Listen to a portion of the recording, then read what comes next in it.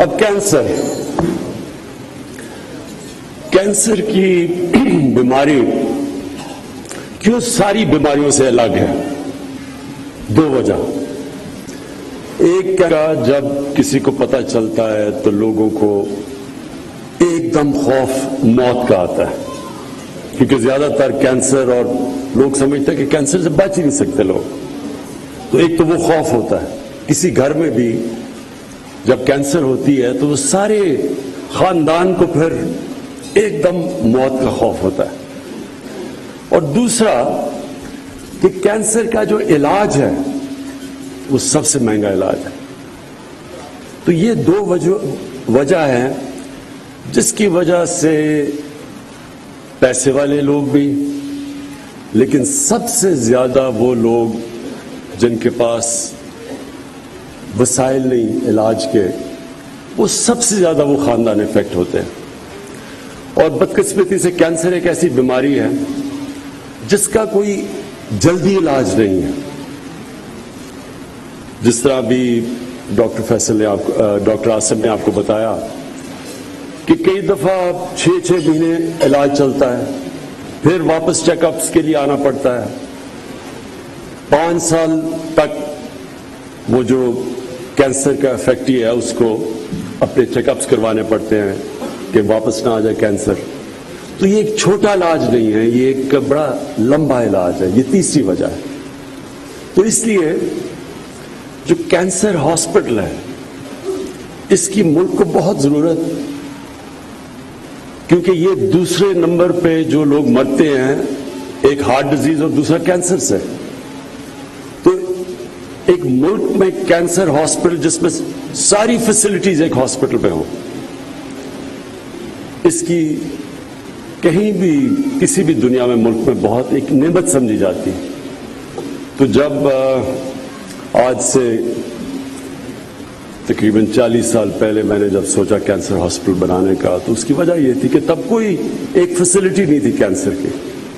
और तब ज़्यादातर जब किसी को कैंसर होती थी तो लोग भी बचते थे उससे। अल्लाह का शुक्र है आज ज़्यादातर अगर कैंसर जल्दी पकड़ी जाए तो मरीज़ बच सकता है। ये बहुत बड़ा चेंज आ गया जब से ये हॉस्पिटल का मैंने, मेरी वालदा को जब कैंसर हुई तो तब से लेके अब तक एक बहुत बड़ा चेंज आ गया।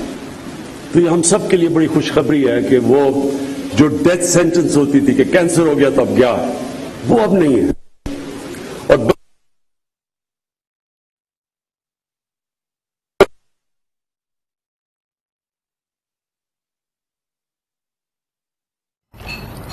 अस्पताल की इस्लामाबाद में वजी अजम इमरान खान इस वक्त तकरीब से खिताब कर रहे थे और उन्होंने कहा कि कैंसर की बीमारी से पूरा घर मुतासर होता है। कैंसर के मरीज़ को बार बार चेकअप कराने पड़ते हैं। दिल की बीमारी के बाद कैंसर से सबसे ज़्यादा अमवात होती हैं। इस्लामाबाद में इस वक्त तकरीब जारी है और वजी अजम इमरान खान इस तकरीब में शरीक हैं और तकरीब से वो खिताब कर रहे हैं और उन्होंने यही कहा कि कैंसर की बीमारी से पूरा घर मुतासर होता है। सिंध को भी केटर करेगा बलूचिस्तान को भी केटर करेगा। इसलिए वो बहुत बड़ा हॉस्पिटल बन और ये मैं अपनी पाकिस्तानी कौम को खास तौर पे दाद देता हूँ कि ये किसी, मैं मैं नहीं समझता कि किसी मुल्क में लोग मिलके हॉस्पिटल बनाएँ और फिर उसको चलाएँ भी। बनाना एक चीज़ है।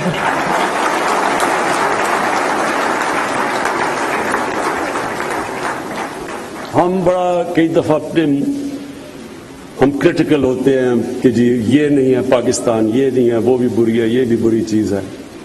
उसकी भी वजह है। क्योंकि हमारा जो इमेज है पाकिस्तानियों का अपना, हम समझते हैं हम एक अजीम कौम है। तो हम ज़्यादा क्रिटिकल होते हैं कि हम क्यों नहीं उधर तक पहुँचे जिधर हमारा पोटेंशियल है। हम जब बाहर दुनिया में जाते हैं तो देखते हैं कि दुनिया अगर प्रोग्रेस कर रही है तो लोग ज़्यादा तनकीद करते हैं अपनी कि हम क्यों पीछे रह गए। लेकिन मैं एक क्वालिटी आपको पाकिस्तानियों की बताता हूँ। जिसका मुझे फ़र्स्ट हैंड एक्सपीरियंस है, कि शायद ही दुनिया में कोई इतने खुले दिल की कौम है जो जिस तरह की पाकिस्तानी है। शायद ही।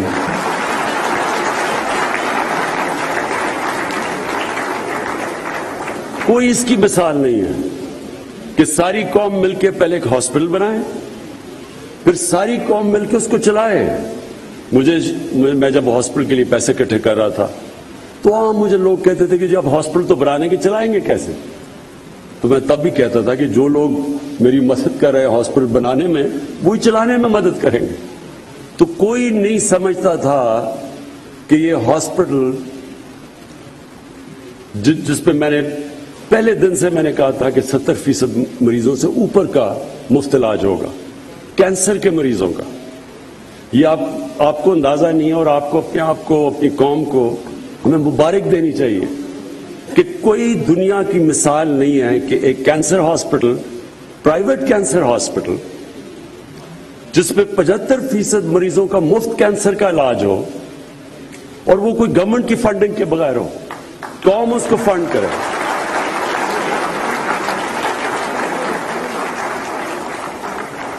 और उसकी भी बहुत बड़ी वजह, ये भी मैंने बड़ा सोचा कि क्या वजह है कि हमारे लोग इतने खुले दिल के हैं। उसकी वजह है कि अल्लाह हमारे पे लाजम कर देता है कि हमने हर साल जिकात देनी है। मुसलमानों के लिए ये फ़र्ज़ है कि आपने अपनी आमदनी से एक हिस्सा निकाल के मुस्तक लोगों के लिए देना है, जक़ात में। ये बहुत बड़ी एक पावर है हमारे पास। अगर ये ना होती पाकिस्तान में, क्योंकि हमारी तो फलाई रियासत नहीं है तो यहाँ गरीबों का कोई पूछने वाला ना होता। क्योंकि हमारे लोग इतनी ज़्यादा जिकात देते हैं तो जो स्टेट का काम है, और मेरा ख्याल है स्टेट का काम सबसे बड़ा काम यह है कि अपने कमज़ोर तबके का ध्यान रखना, फलाई रियासत बनाना। तो जो पाकिस्तान पैसा करते हैं। और ये सबसे बड़ा ये मौज कैंसर का इलाज।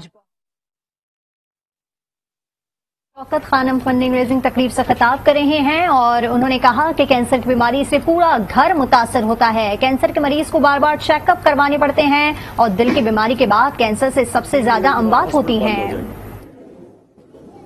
वो चीफ एग्जेक्टिव तो तीन महीने के बाद चला गया। हॉस्पिटल आज आप देखें आज आपने एक फिगर मिस कर दी।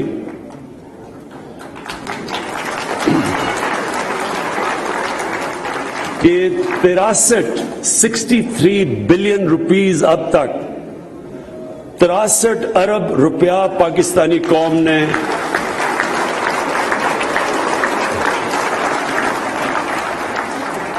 डोनेशन दी है मुफ़्त इलाज के लिए शौकत खानम को। तो शौकत खानम अब तक, पचानवे में शुरू हुआ था, अब तक तिरासठ अरब रुपया गरीब मरीजों के इलाज पे खर्च कर चुका है। ये मुआवजा है। ये आपको किसी दुनिया के अंदर इस तरह की इंस्टीट्यूशन नहीं मिलेगी जो पब्लिक ने इतनी ज़्यादा और हर साल हर साल ज़्यादा पैसा देते हैं।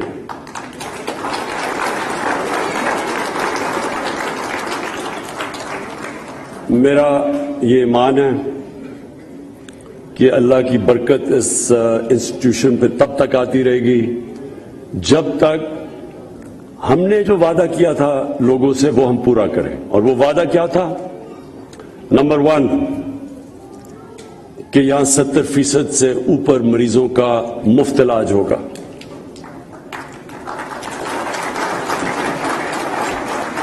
और ये बड़े बड़े बुरे वक्त आए शौकत खानम के। बड़े मुश्किल मरहले आए। लेकिन हमने कभी, जितना भी मुश्किल वक्त आया, हमने सत्तर फ़ीसद मरीजों से से कम इलाज नहीं किया। हमने ज़्यादा का इलाज किया, कम नहीं किया। यानी हमने अपनी प्रॉमिस पे रहे कि